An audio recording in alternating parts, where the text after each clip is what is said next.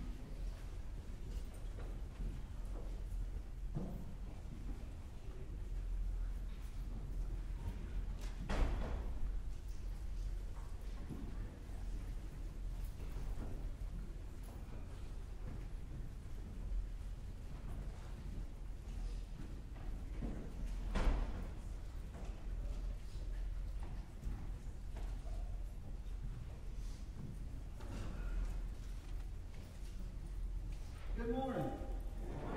Ain't it good to be in God's house this morning? Amen.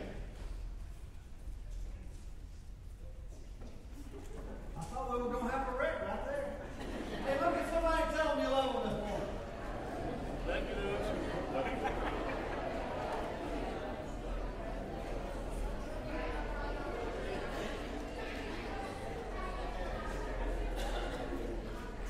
Hey, now kind of find somebody that you haven't told you love them and find them and tell them that you love them. So find somebody new and tell them you love them this morning.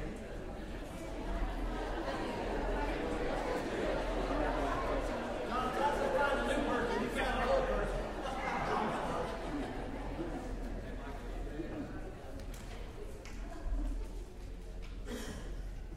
Before we get started this morning, there's something that we kind of found this week that, uh, that I wish I'd have had, you know, a little information on earlier in life. And so, hey, Chris, would you go ahead and, and kind of show that little video? Okay, ways to say no. There are a bunch of them. No thanks. I'm good.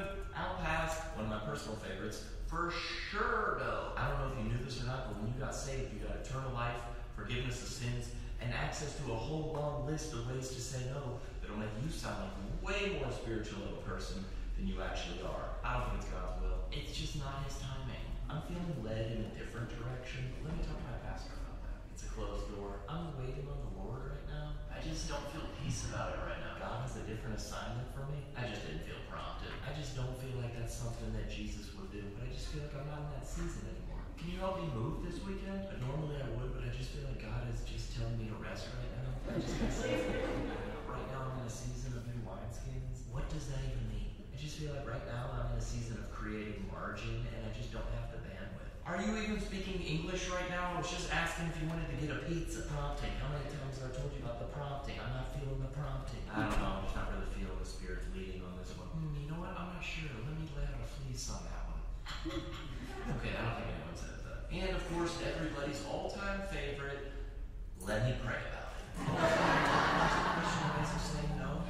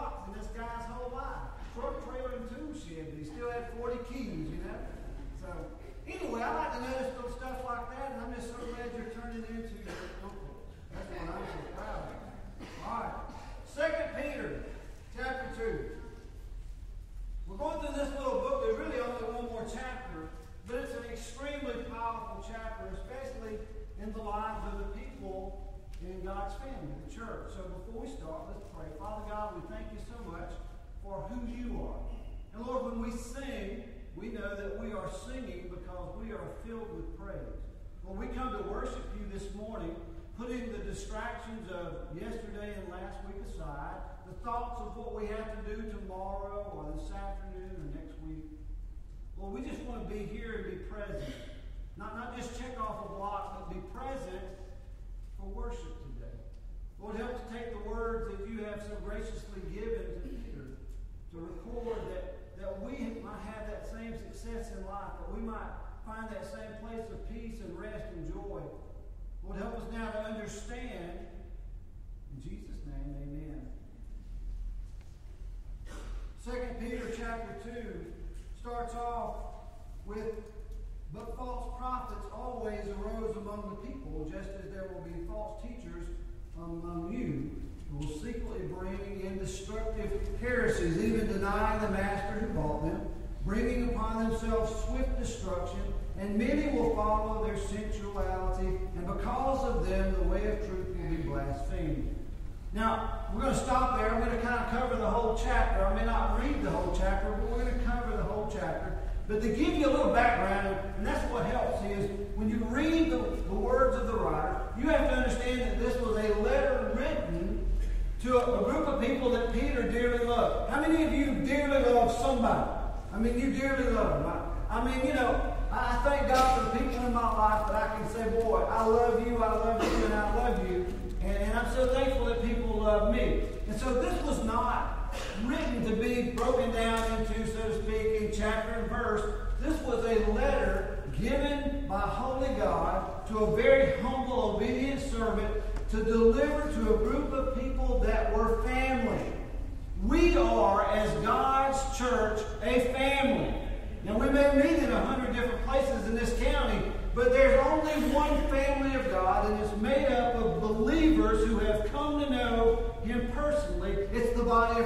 Amen? And so this is a letter. So please take it that way. It's written to you, Ashley, and to you, Jonathan. And, and Peter knows uh, in the first part, the first chapter, that he tells us he knows that his time on earth is coming to an end. His life in another year is going to be eternal with Christ. He'll no longer be on planet Earth. Max, uh, my grandson, started asking some questions. Don't you love it when your grandkids start asking questions? He says, you know, where does Jesus live? So his dad said, lives in your heart. So Max said, Well, what about the blood in there? So Dad's like, oh, okay, well, anyway. You know, he explained something. And then he asked me, we were, we were playing in the sprinkler yesterday. You hear what I said? We were playing in the sprinkler. Poor people don't have pools. we were playing in the sprinkler. And when we got tired of jumping over the sprinkler, we moved it over close to the swing set so we could swing into the sprinkler. And he asked me, he said, How do we stay on earth? I said, What do you mean, how do we stay on earth? He said, Well, what holds us down? I mean, he's four. Okay? I said, Well, ask your Mimi. She. Listen, when you love people, and everybody in this room has people they love, you have to start thinking at some point, what are the important things that you really want to convey to them before your time is done? Because I don't want to shock or surprise any of you, but all of you are in the process of dying. Amen? And barring Jesus coming and taking the church home, all of us are going to face death. And so we need to get our priorities right. And so Peter is in that process. he's looking back in an effort to help propel them forward. You see, sometimes you just have to look back and find that place in your life where it was impossible for you to do anything but move forward. And so he's trying to get that group of people who are, who are kind of struggling with moving forward in their life, get them going.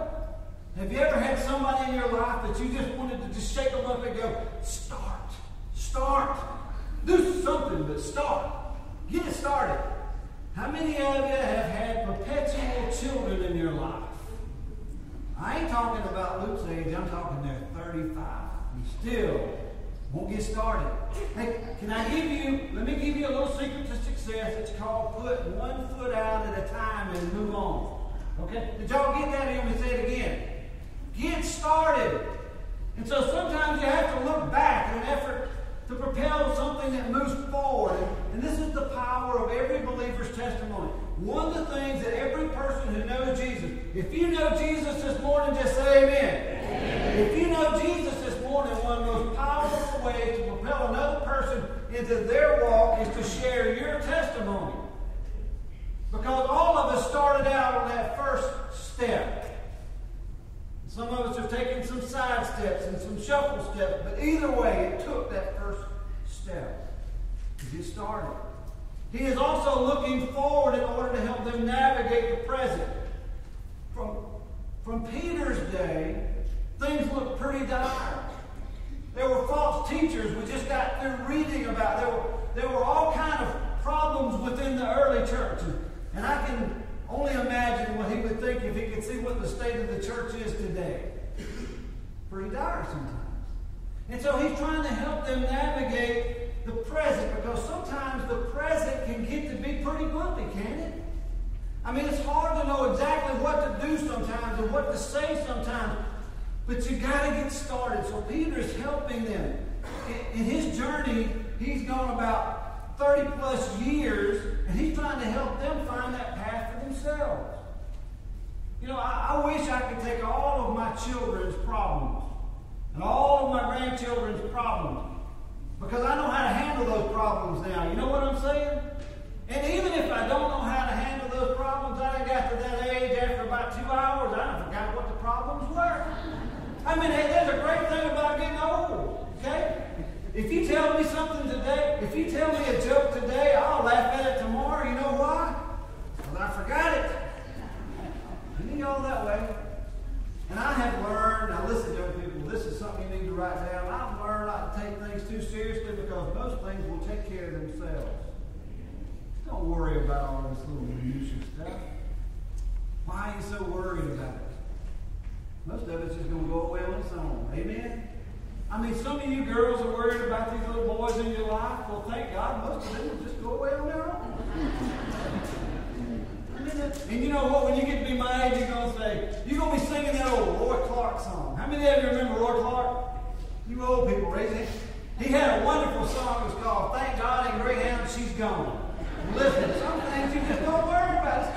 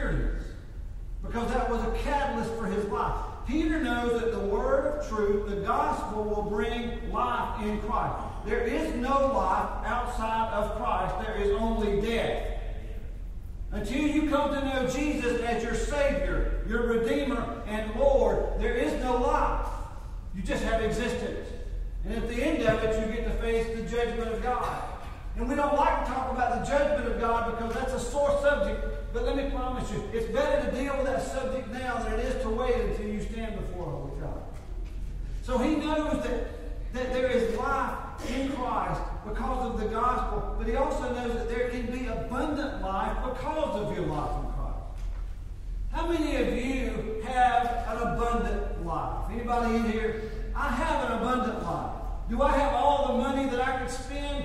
Never. And God knows better than let me have it because it would make me really dumb. Right? I mean, you know, I don't need everything I want. Matter of fact, I have more now than I know what to do with. There is abundant life in Christ, and it is not made up of stuff. It is made up of peace and joy and love. And none of those things are attached to stuff that the world can give you. Young people, if you strive for anything, strive for those things that Christ can give. Forget what the world can give. The world will disappoint you, darling, every time. The Apostle Peter knows that the real word of truth will reveal and connect them to the very real Jesus that will not disappoint them and will take them away from that cultural Jesus that will always disappoint. them. You've heard me say this three Sundays in a row. Surely you've gotten it because it's true. There is a very real Jesus that the Bible goes to great length to reveal to you, and there's a cultural one that has been distorted by people that would take advantage of you. There are charlatans on every part of the globe. But the, dis- the difference is this the, the very real Jesus will never disappoint you, but the cultural one will. Y'all have heard me say this, and I'll say this again. I have said for years that the Jesus you worship and praise, if he is not the same Jesus that you worship and praise when you walk out of the doctor's office having been told that you have cancer, if you can't still worship and praise that same Jesus, then you've been worshiping at the feet of an idol. And that's just as true when someone in your family leaves this world to death, or, or your finances collapse, or the company you worked for for 30 years says, We don't need you. The very real Jesus will never disappoint you, and he's always worthy of your worship and praise. But that counterfeit one, when he doesn't meet your expectation, you're going to be disappointed. Are y'all with me so far this morning? Listen, the Christian life is a life of discipline that is lined up on the only one that's worthy. Word of God reveals the real Jesus to you. Paul put it this way in 2 Corinthians chapter 11. Paul said this that just as Eve was deceived and led astray, be careful that you are not led astray. For if someone comes to you preaching a Jesus other than the one we preach, I mean, listen, you better underline that in your Bible, put it in your notes. Or if you receive a different spirit than the spirit you receive, or a different gospel than the one you accepted, it's false. There were always people trying to take advantage of people who were young in the faith. How many of y'all have been Christians just a short time? You raise your hand if y'all. How many of you have been Christians less than, say, five or ten years? Anybody in here? How many of you have been Christians for a long, long time? There's always been part of Satan's design is to use people to pull you away from being able to grow and mature in your faith. And he'll use the culture to do that.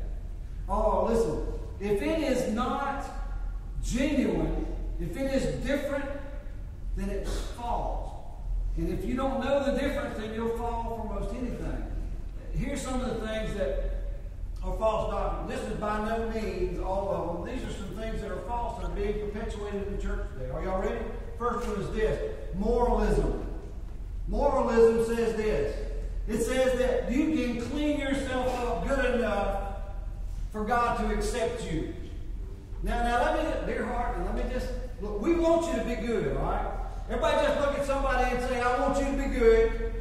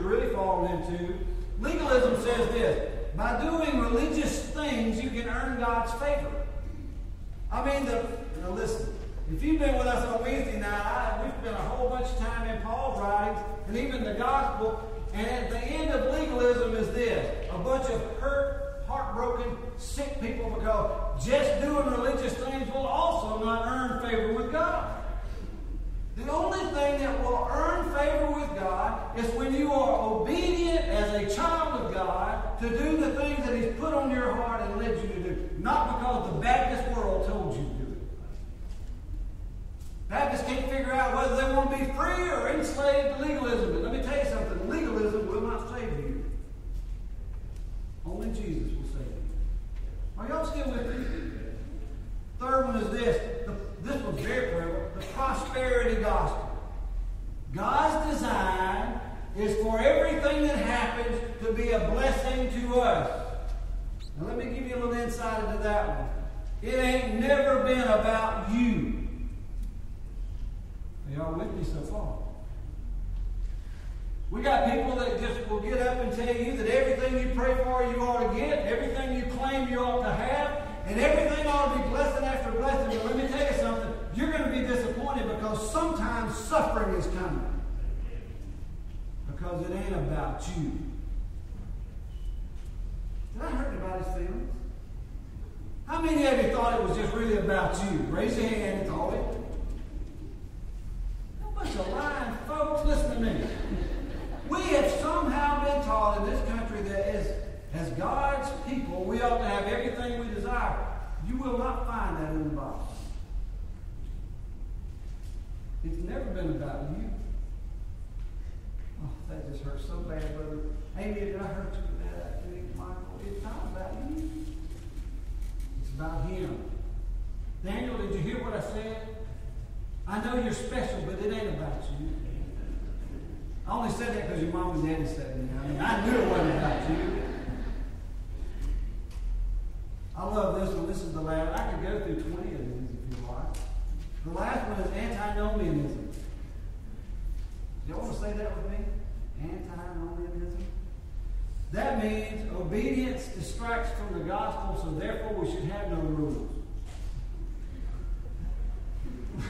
How many of y'all were teenagers in the 60s?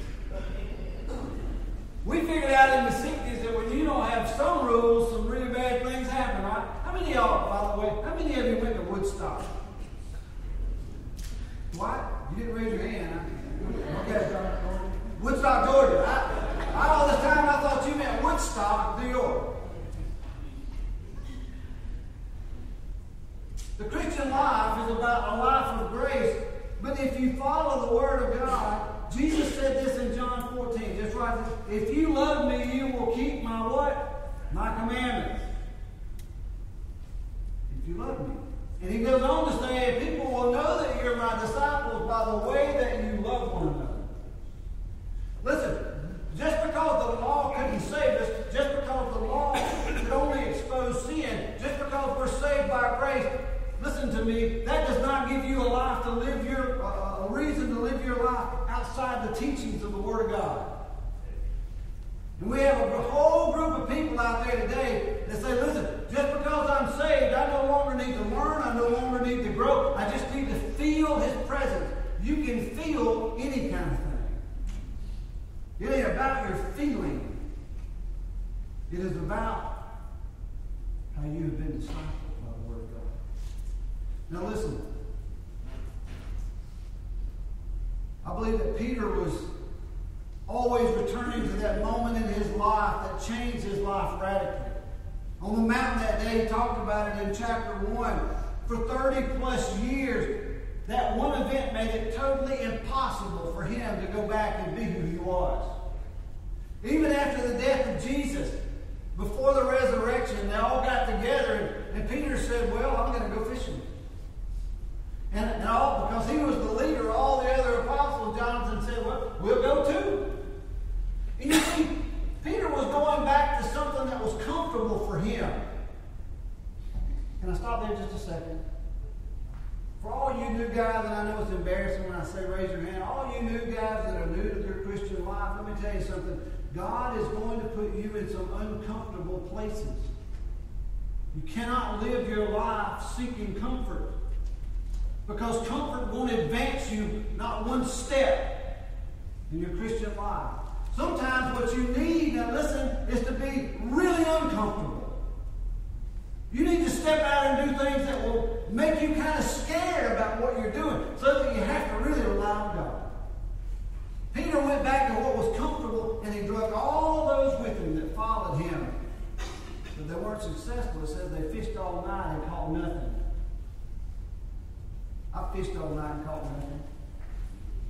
I ain't talking about just on a pond either. I mean, I have done things over and over only to find out they didn't benefit me at all. They didn't bring that peace of mind that I thought they would. But thank God, Jesus provided a fishing lesson for them. You see, when we put our trust in Him, He delivers the success in the situation, not us. But the best part of that story is this, as Jesus told them to put their nets in a certain place and they caught all the fish, they drug it up the shore. He gave him a life lesson. And he looked at Peter and he said, Do you love me, Simon? Oh, yes, Lord. But Simon, do you really love me?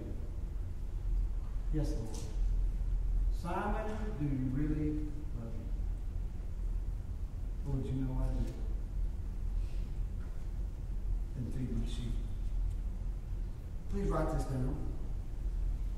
Peter, if you love me, don't be Simon anymore. I need you to be Peter. You see, Simon was that old name that was given to him as a fisherman. Peter was that new name that was given to him as a fisherman of men. And I don't need you to be Simon anymore. I need you to be Peter. I, don't need you to be what you started as, guys. I need you to be who I intend for you to be. Eric, I don't need you to be who you used to be. I need you to be who I want you to be and who I've equipped you to be. Corey, the same for you. I don't need you to be Simon anymore. I need you to be Peter. And I don't need you to lead people back to a boat where there's nothing to catch. I need you to teach them how to be fishermen of men. You see, Peter kept going back to that, and he knew that part of feeding sheep involved equipping them so that they know when they hear it that it's true. Do you know that what you hear is true when people start talking all kinds of stuff? I shared the story with you about the guy on a motorcycle trip that walked up to me and said, It is God's plan for everybody on planet Earth to live to be 120 years old. Now, I like that the way it sounds, don't you? The only problem is, is that if I live to be 120, somebody's going to pay my bills for me because I will have run out of money. I figure I can't live to but about 61. I mean, you know? But did God intend for everybody to live 120 years? The answer is no. Now, let me tell you why something's not true. James and John were in the inner circle. Peter, James, and John. John didn't live to get out of the book of Acts. Peter's going to be dead in less than a year, so will Paul. Listen, some things sound good, but they're just not true. Are y'all with me this morning? When you hear it, do you know it? When you see it, do you know that's what's true? You see, this highlights the great problem in our churches today, and it's the need for discipleship. Jesus never one time said go out and make converts. He said go out and make disciples, teaching them those things that they need. In other words, he said, listen, what I want are fully devoted followers and fully equipped followers. And you can't get that without being discipled. I know Michael met with a group of guys this morning, pull them into a discipleship group where they can learn and grow. The problem with the church today is we want to live our life as a Christian about feelings and not about discipleship. And that's not the way it's intended to be. Peter began to understand as he went through his 30 plus years that you cannot base your relationship to God on your feelings because your feelings change.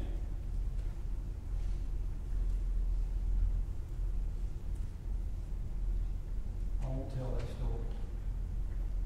If you shake your head now and I know what it is, I know I probably don't need to tell that story. Well.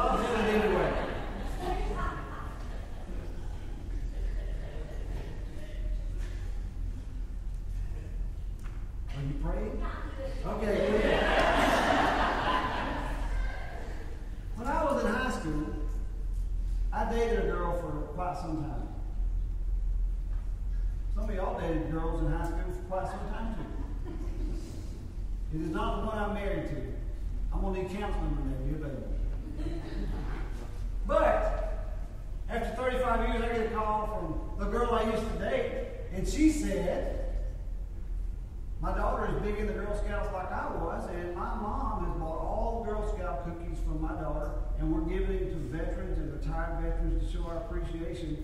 And so, after 35 years, my wife and I met with my old girlfriend and her daughter and her family, and we got our cookies.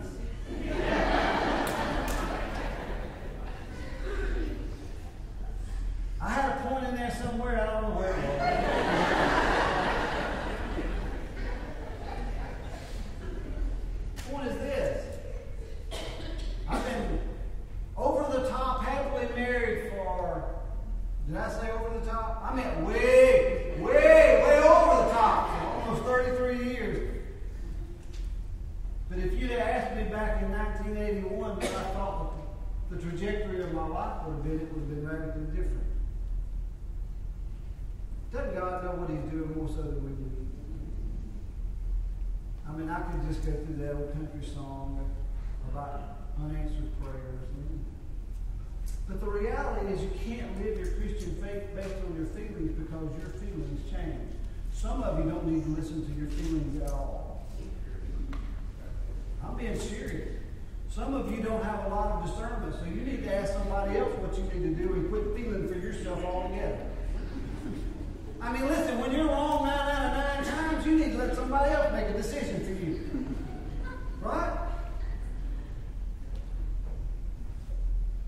For 33 years, I've been getting up in the morning, getting out the clothes I wear only for my wife to get up and tell me I can't wear them. It looks like after 33 years, I wouldn't even make the effort. Amen? Amen. You cannot live your Christian life by feelings because feelings change. This is what you live your life by. And if you don't know what's in this book, then you'll never live your life in a way that's pleasing to God. you can sit around in every encounter group, every small group, and you can talk about how your week went, how you feel, and how this is going, and how that's going. But until you become a disciple of the Word of God, a disciple of Jesus Himself, until you become that person that Jesus said, go forth and make disciples of all the world, you will never live a Christian life that is going to be successful the way He intended. Are y'all with me? Well, I just don't feel like that. I don't care how you feel. One of the worst things that ever happened to the military is they started asking troops how they felt. You know, when I came up in 1979 through basic training, nobody ever asked me how I felt. I got pulled into this encounter group as a colonel when they were trying to decide whether young people needed berets or not berets. Dumbest thing I've ever heard in my life. Y'all, how many of y'all enough remember the commercial where the, the commercial was about the army and this guy sitting there drinking a cup of coffee and says, Good morning, First Sergeant. And it said, We do more before 9 a.m. than the rest of the world does all day. Y'all remember that? You know what we finally figured out? Young people don't want to do more before 9 a.m. than the rest of the world does all day.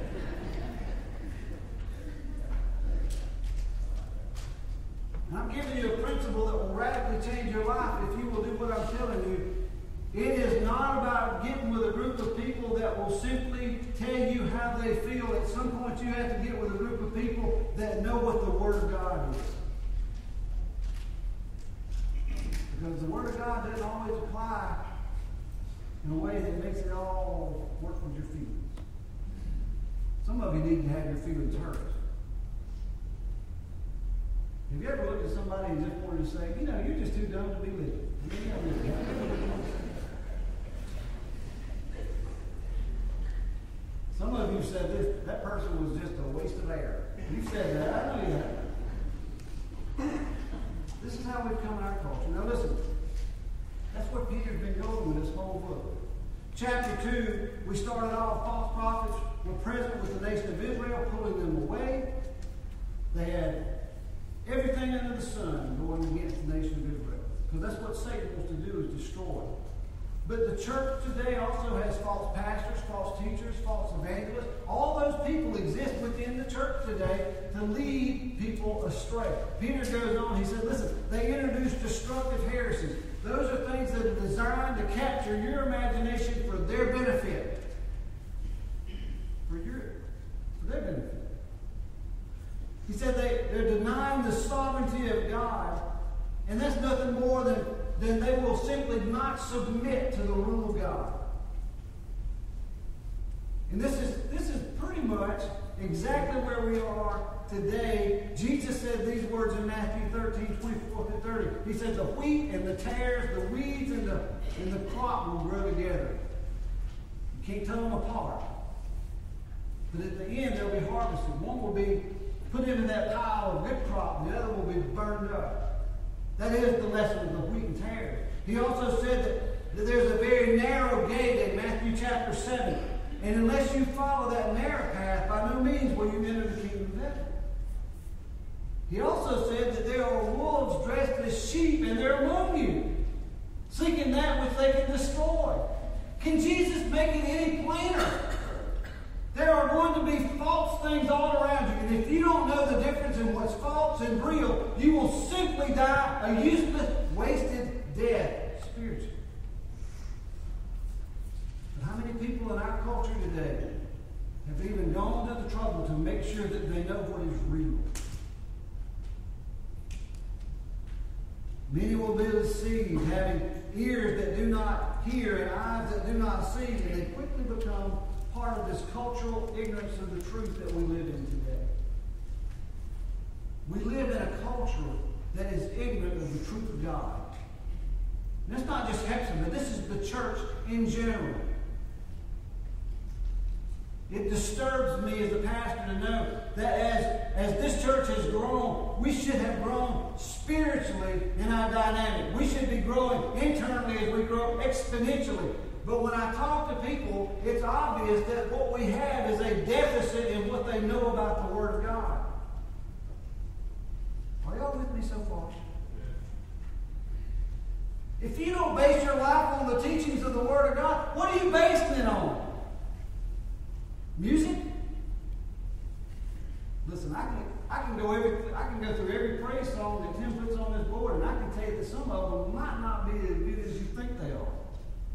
I can do the same. Oh, some of you darlings grew up in the Baptist hymnal. I can go through that and tell you that some of that theology ain't all that good either.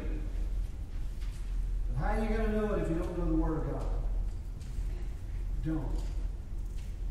Peter is trying to prepare this little flock so that when he leaves this world, they won't be picked apart by every little thing that blows. Peter reminds them of God's judgment. As you read that latter part of the second chapter, he said that God did not spare angels when they sinned. He did not spare the people of Noah's day when they sinned. He did not spare the people of Lot's day in Sodom and Gomorrah when they sinned. And he ends with this final wonderful thing. He said, God knows how to keep those that are his. Now, if that's true, he also knows how to punish those that aren't.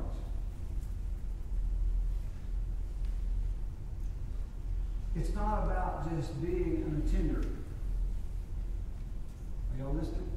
It's about being a disciple. God knows how to take care of what this is. And he knows how to punish those, pardon my English, that ain't. I, I love this. In that very final set of verses, Peter says these words. He said, These are nothing but waterless springs, verse 17. Mists that are driven by a storm. They promise freedom, but they bring slavery.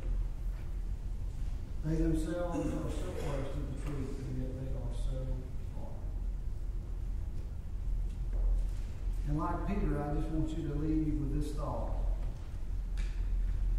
Simon, I don't need you to be Simon. I need you to be Peter. Jim, I don't need you to be the old Jim. I need you to be the Jim that God made you to be. Dallas, I don't need you to be the old Dallas. I need you to be the Dallas that God intends for you to be. Peyton, I don't need you to be the old Peyton. I need you to be the Peyton that God intends for you to be. Everybody in this room should be going from where they were to where God wants them to be. And the only way you're going to do is to spend time in the Word of God and know what the truth is when you see it. And everything I just told you is totally counter to our culture. But it's every bit true. Father God, I pray that you help us to move past the Simon in our life. That we can no longer, with what we have seen, what has been done for us, that we can no longer be that simple fisherman, simple Simon, but that we become something that's more, something that's dynamic, something that's more like the Peter that you. Lord, help us to be a disciple, the encourager. Help us be well founded so we can help others find their place on solid footing. Lord, we praise you in the name of Jesus. Amen.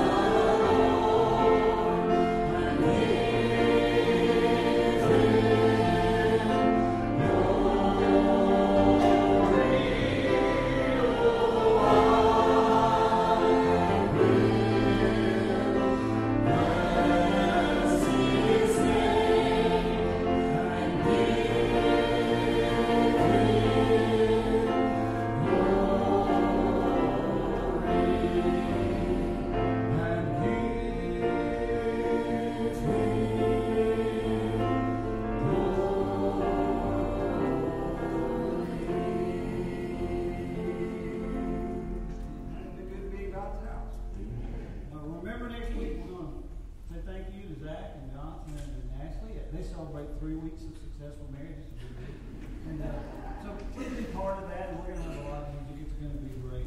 Uh, at the end of our service, we're going to have a short business meeting. So, Chris, if you would dismiss us when you hear the music, come back in and take about three minutes. Chris? Lord, thank you, for the time you give us.